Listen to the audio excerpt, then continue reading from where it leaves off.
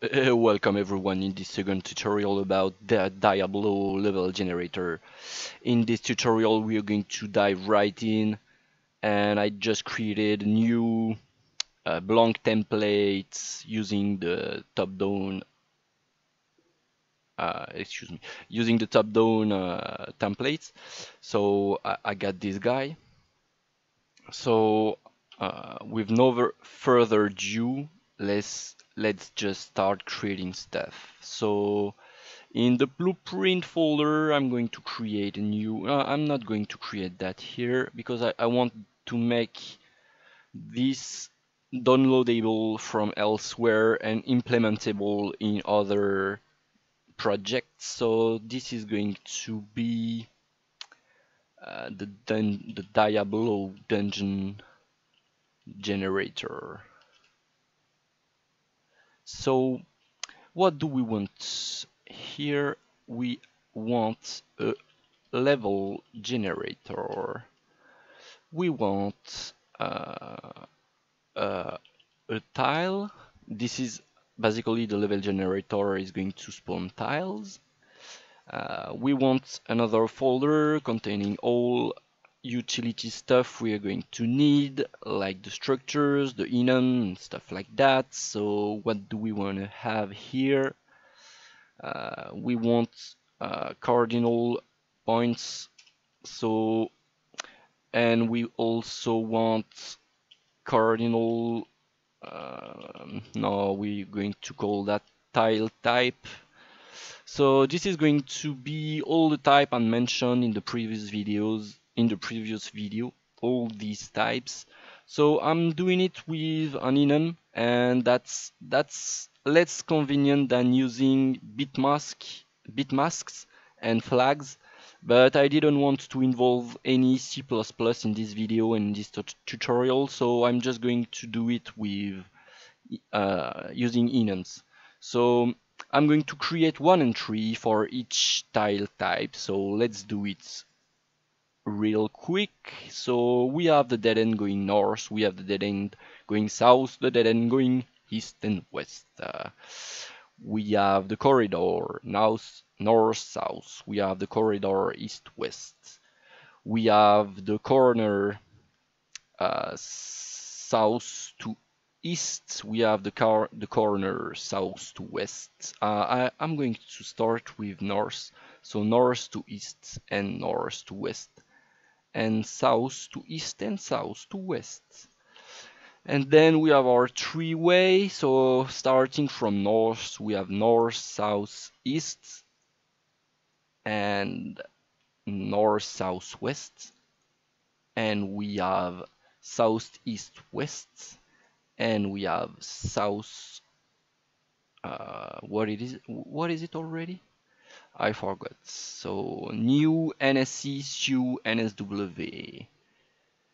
New I I don't have new north east west and that's it. And we have our four way NSU and that's it. So this is all the, the tile types.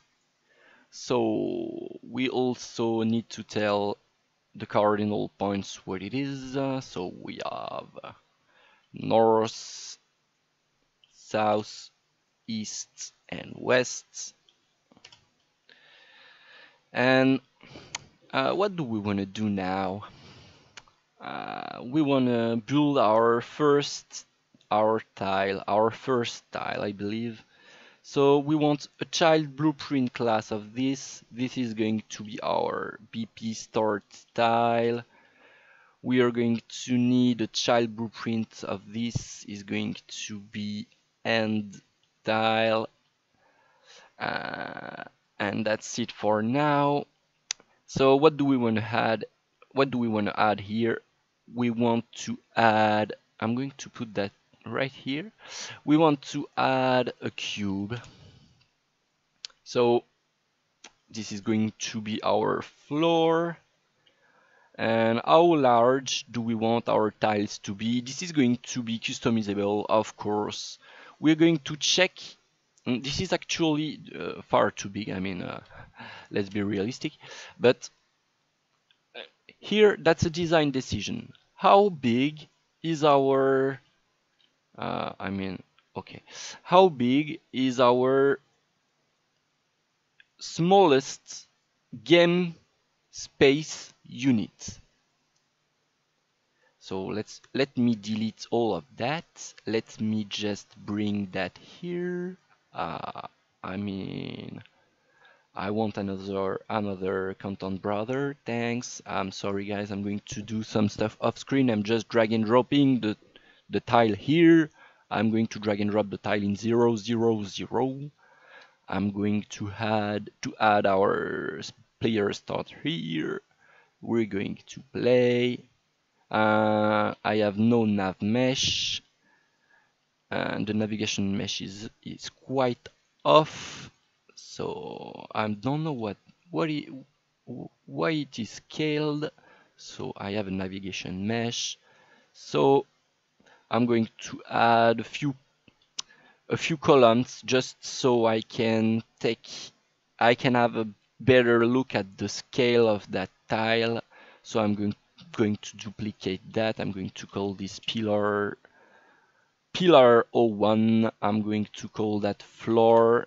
So our pillar 01 is 223 scale and this is going to be uh, I'm going to stick on the grid for the sake of having uh, I mean for the sake of being every, for for mm, when working with you always want to work with grid anyway but even more when working with when dealing with uh, random generation you want everything to be quite clean so I'm going to duplicate this pillar 02 uh, I'm going to uh, to have three pillars three pillars I don't know uh, a fourth one. And then I'm going to put them right here. So every tile will look like this. So what about the scale so I think this is too big for for one tile. I think this is too big. So I'm going to make it like 50 no this is too too small. Uh, 22.5 now I want I want something like this I believe.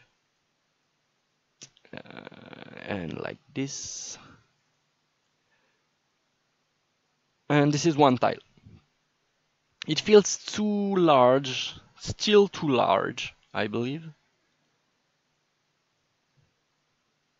20 meters is that right? 20 meters sounds fair. Mm, you gotta think that your level is going to be composed of tiles of this size so the, the larger the largest encounters you can build will will have will have to to take place in such a such a small a small uh, in this space. So maybe that's too too small. I think that's too small. If I want to do a pretty large encounter I cannot.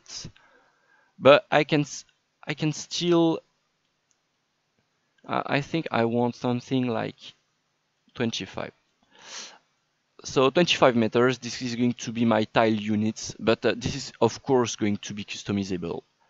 So uh, we have our tile and we have our, we have our our level generator.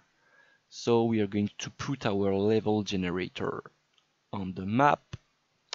This is going to be located at O at the origin of the world.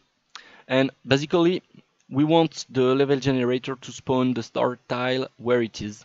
So we are not going to make any settings modifying the, the, the, starting location of the dungeon because I don't see any use for it. If you see one, make sure to tell me in the comments.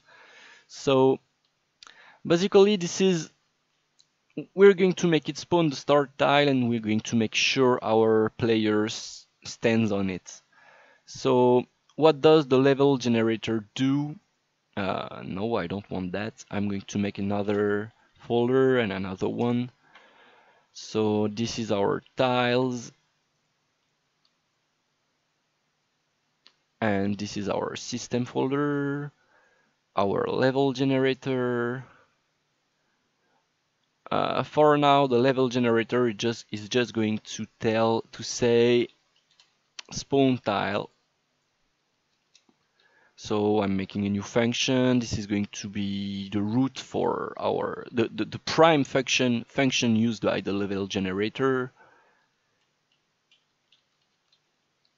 I'm just thinking and I'm just thinking ahead. So this is going to spawn a tile, a tile. No, I don't want to do that. I want to spawn actor from class. I want an actor transform.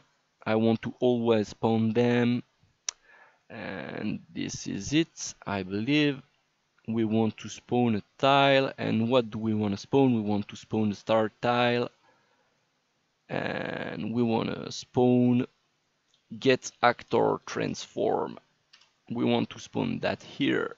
So if I hit play we have our spawn tile. And we don't have any nav mesh. Of course this is going to be a problem right away so I don't know how to regenerate the nav mesh. Uh, I forgot. Uh, I think I know. Actually, I think I know.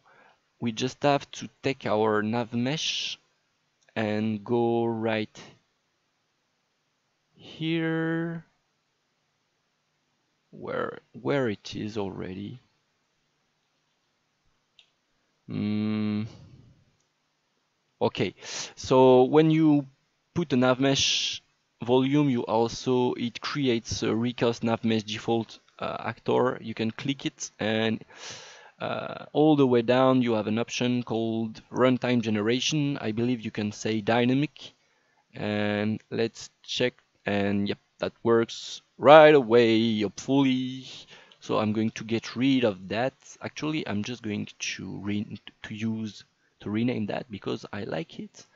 Diablo like generate dungeon generator. So that's our tutorial. That's our tutorial, lads. So that's it for this video. We just the level generator created the start tile and we're going fine for now. Everything is easy. So hope to see you guys in the next video. In the meantime, I hope you're doing well. Bye bye.